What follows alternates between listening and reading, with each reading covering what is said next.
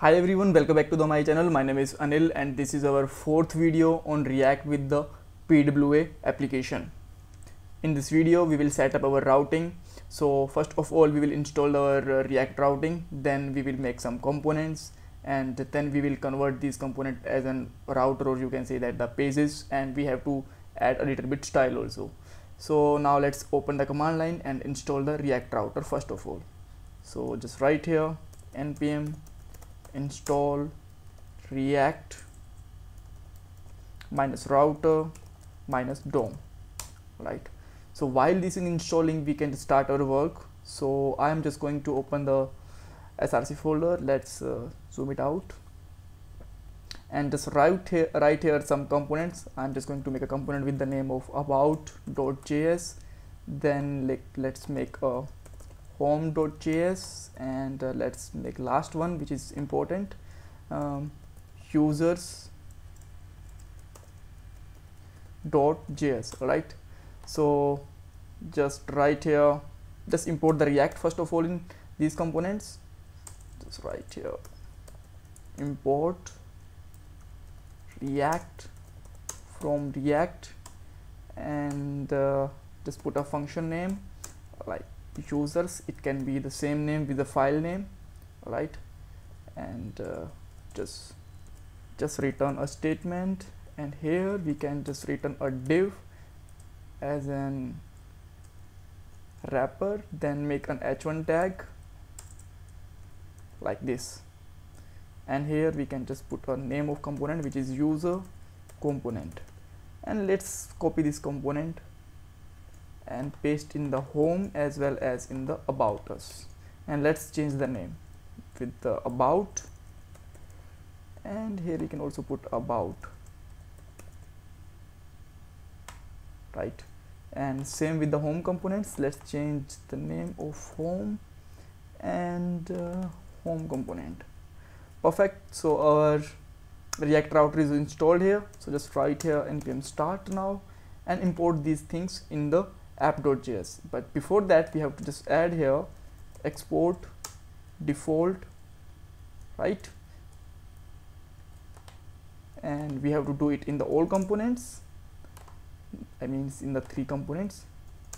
That's great. So now let's open our fourth component also which is app.js and import these all components here. So just import home from home right? And let's make some copy of it. One for about. And uh, we can make one more which is uh, mm, about then let's make users.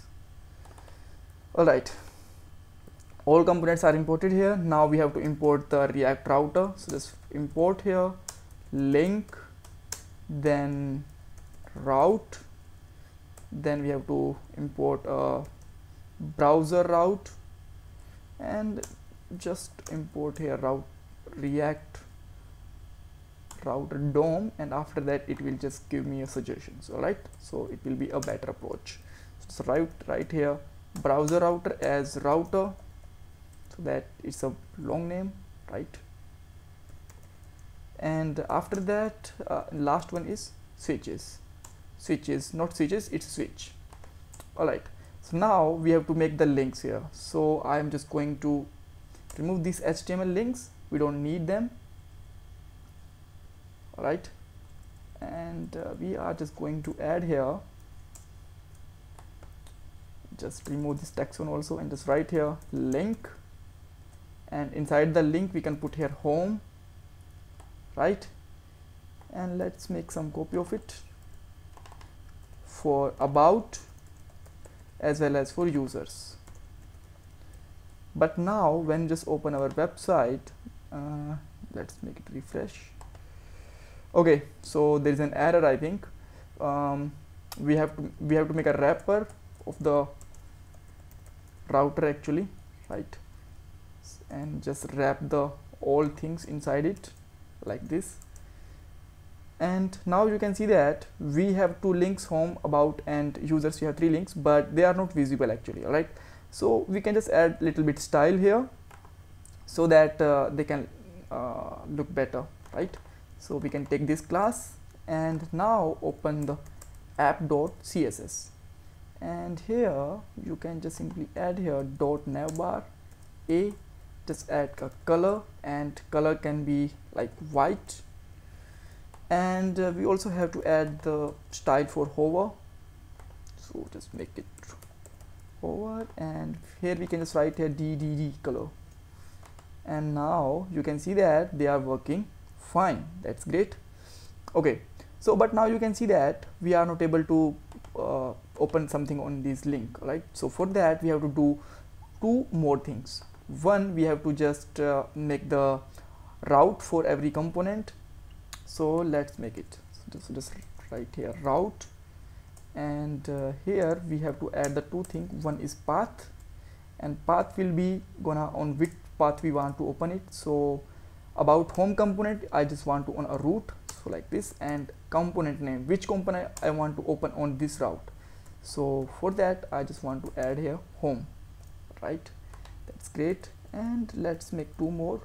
One for about and one for users. And here just place this route um, let's add small d and users.